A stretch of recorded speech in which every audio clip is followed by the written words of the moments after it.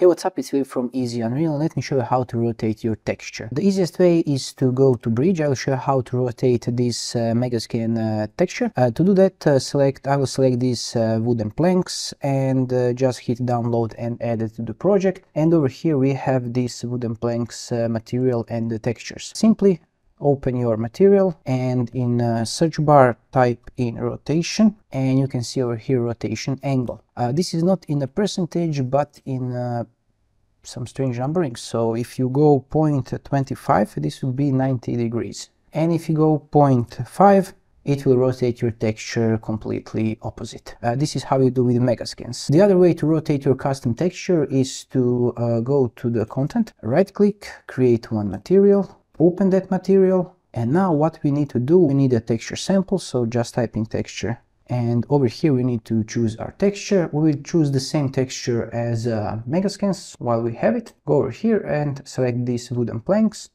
Go back to your uh, I'll close this to your material and click over here this arrow to select the texture and if I connect it to the base color you can see a texture let me use the plane so you can see it better. We need to add uh, the texture uh, coordinate node. To do that hold the U on your keyboard left mouse click we got texture coordinate and uh, we need to add a custom rotator. To do that right click rotator connect everything and as you can see nothing happens. This is because we need the rotation angle over here. You can see this rotation center uh, that the default value is uh, 0.5 0.5 uh, this means that will be in the center of the texture. If you want to change uh, the center or the location from where some something like a pivot point uh, we need one constant node hold one on your keyboard left click. If you want to learn more about these shortcuts and more about Unreal Engine tips and tricks you can check out this video. But for now we'll connect this over here